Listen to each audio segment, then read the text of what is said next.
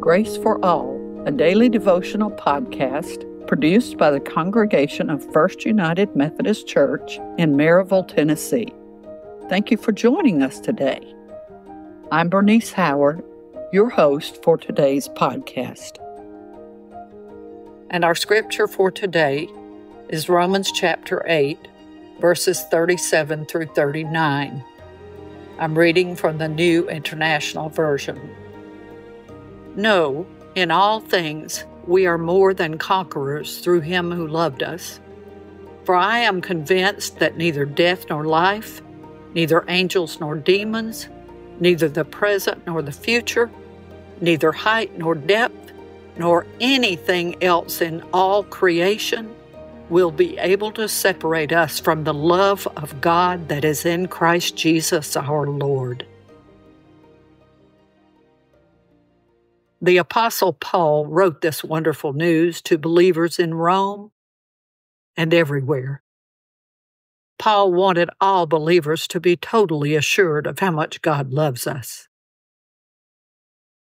One of my favorite authors, Henri Nouwen, who is considered one of the great spiritual writers of our day, who taught at Harvard, Yale, and Notre Dame, wrote in his book, Life of the Beloved, the following words, which I am quoting We are the beloved.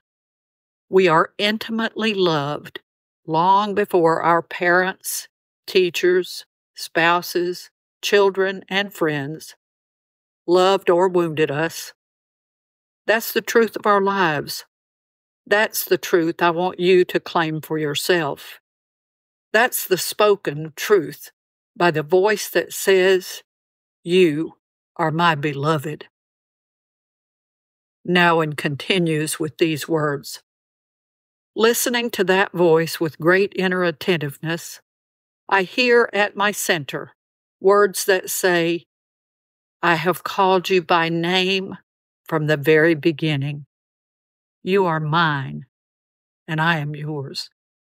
You are my beloved. On you my favor rests. I have molded you in the depths of the earth and knitted you together in your mother's womb. I have carved you in the palms of my hands and hidden you in the shadow of my embrace.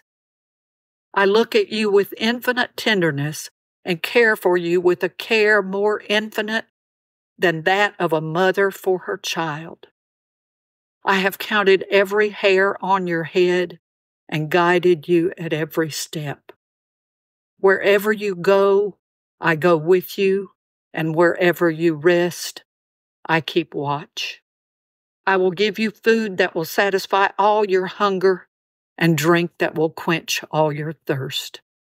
I will not hide my face from you. You know me as your own, as I know you as my own. You belong to me.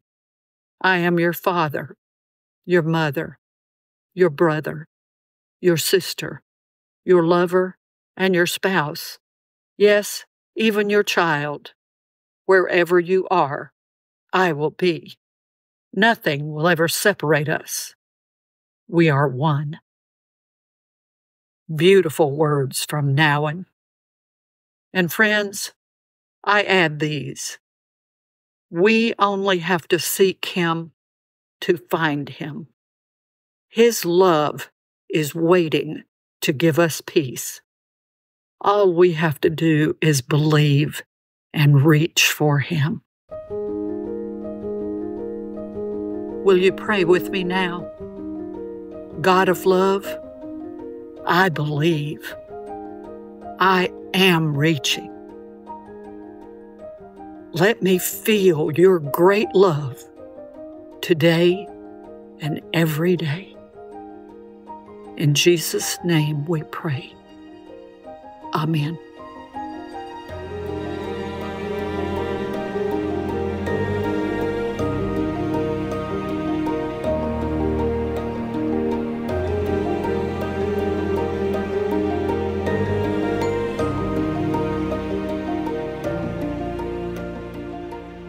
Today's podcast was written and read by Bernice Howard.